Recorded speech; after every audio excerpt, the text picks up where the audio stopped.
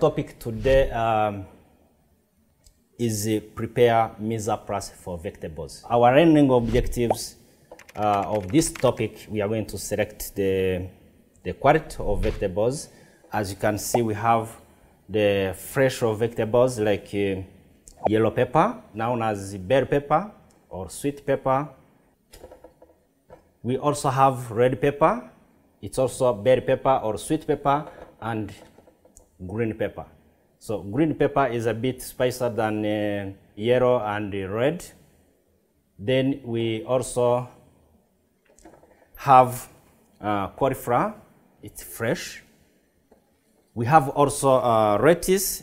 is firm, is crispy. It look fresh, right? We also have uh, spinach. It's a fresh. That's the quality signs of vegetables. So um, we, we have avocado, we have a cucumber. We also have carrots. As you can see, our carrot is big, it's fresh, it's firm. Um, it's crisp as well. Uh, we have tomatoes. Tomatoes, it's also firm and, uh, you know, fresh, you know, and it's good for salads preparation. Um, it's also important to recognize the quantity of vegetables we are going to order. So um, we normally order quantities of vegetables that we need. Like, for example, if I have to order tomatoes for 100 people, then I don't need to order uh, tomatoes for 200 people. Or if I need to prepare a dish for three people, I don't need the, all of this. So we order required quantity. So we use vegetables for salads, we use vegetables for dishes like accompaniments, we use vegetables for soups, we use vegetables to make stocks. So I can say vegetables can be eaten raw, cooked, or preserved. Then before we move to the washing of vegetables or cleaning our vegetables, so I would like to explain to you the use of cutting boards. So we have color-coded cutting boards. So um, here we have also color-coded knives. So starting with the red cutting boards used for red meat. Blue cutting boards for fish and seafood. Yellow cutting board, we use them for poultry. Brown cutting boards with a brown knife, we use them for all cooked food. We use green cutting boards used for vegetables preparation. White cutting boards can also be used for pastry product, like cakes, like uh, cakes, breads, or pastry and bakery product. It's very important to understand use of cutting boards to avoid cross-contaminations.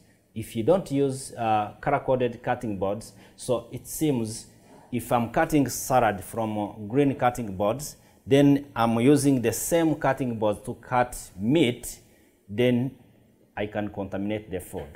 So for food safety, it's good to use color-coded cutting boards. Then to avoid cutting boards uh, slippery, so I have to underline uh, with the uh, paper serviette or you can use uh, cotton uh, or torchon to, to underline your cutting boards to avoid slippery. So um, I have my serviette here.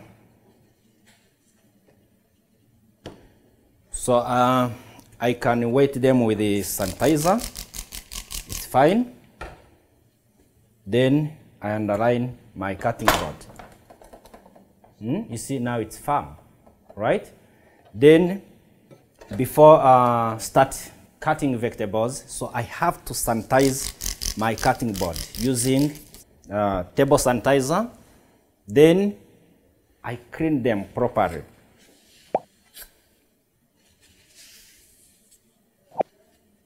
Okay, so uh, I clean my cutting board. Table sanitizer uh, reduce the number of uh, bacteria on working surface. So um, then before we clean our vegetables, so we have to, to, to sanitize our workplace. Make sure the press is, uh, is, uh, is very clean uh, to avoid uh, bacteria to be around. Mm? You dry the sink mm? with, the, with the sanitizer and the paper cloth or uh, paper towel. So after cleaning my workplace, then I have to wash my vegetables. So um, I have to move them near the sink. Then I have to wash my vegetables using running water. So the purpose of using running water is to avoid uh, combination of vegetables and the sand. Some vegetables uh, have sand with it, so it has to run and you wash vegetable one by one to make sure it's clean. After washing my vegetables, so I have to, to put them in a container. So you can see I'm using a green container, green container uh, which is for green, uh, green vegetables or other type of vegetables. Um, we also use uh, color-coded containers to avoid cross-contamination. So the same way of uh, uh, using of cutting boards. So we also use color-coded containers. So uh, we have our vegetables ready each type of vegetable has to be in an individual container. Hmm?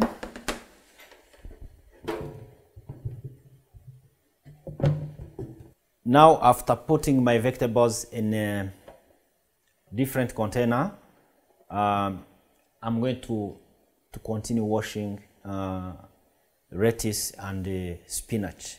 So the purpose of washing lettuce and spinach are on, it's because these vegetables, they are too soft. So you can't combine with the other vegetables while you, you are washing them. So the other uh, point is, is that we have to wash individual uh, leaves so that we don't uh, mess up. You know, some of these uh, uh, vegetables you may have insect inside. So the purpose of washing by individual is to make sure that there is no presence of insect inside. Otherwise, you can mess with the customer. So you can imagine if you are start eating salads and uh, at the end you find cockroaches inside. So that will be a mess. Eh? As chef, we don't want to lose our face in front of customer, right? So uh, all our vegetables are uh, washed. Now we are going to, to cover them, uh, them, then we store them.